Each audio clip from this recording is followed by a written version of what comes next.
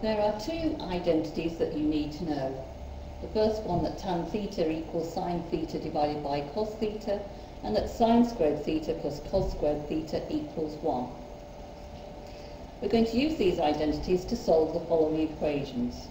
The first one, that 2 cos theta equals sine theta. So first I'm going to divide both sides by cos theta in order to leave 2 equals sine theta divided by cos theta. And we know from above that sine theta divided by cos theta is equal to tan theta. So now on our calculators, because we know tan theta equals 2, we need to press shift tan and that will give us the value theta equals 63.4 degrees. Now the tan graph looks like this. It first of all goes off to infinity at 90 degrees. Then we have oh, going back to zero at 180 degrees, off to infinity again to 70 degrees, back from infinity to, to 360 degrees when the value is zero again. So this is the graph of y equals tan theta. So every 180 degree period we have the same value. And so hence we need to now add 180 degrees to get the second value which would be 243.4 degrees.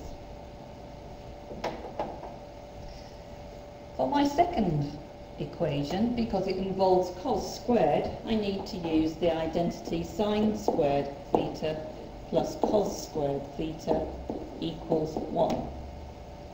We need to first of all rearrange that equation so that we have replaced, uh, so we can replace cos squared theta. And so I'm now going to subtract sine squared theta from both sides to leave me with 1 minus sine squared theta is worth cos squared theta. And so hence I shall replace the cos squared theta with 1 minus sine squared theta plus sine theta equals 1.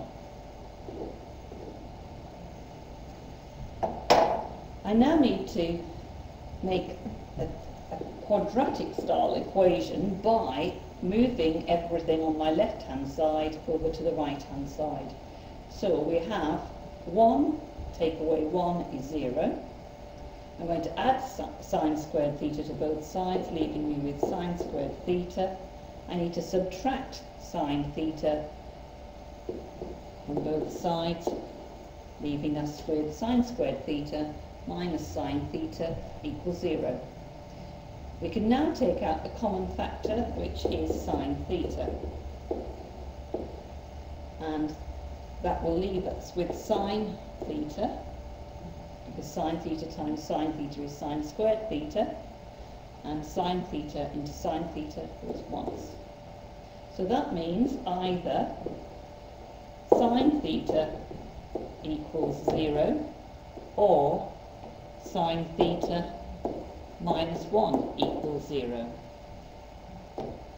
Giving us then that sine theta equals 0 or adding 1 to both sides 1.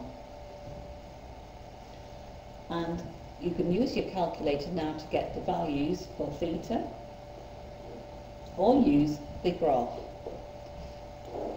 This is the graph of y equals sine theta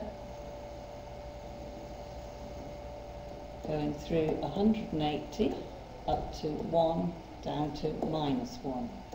So the graph is equal to 0 at 0 degrees, at 180 degrees, at 360 degrees, and it's equal to 1 at 90 degrees. So putting that all in order then, theta equals 0 degrees, 90 degrees, 180 degrees and 360 degrees.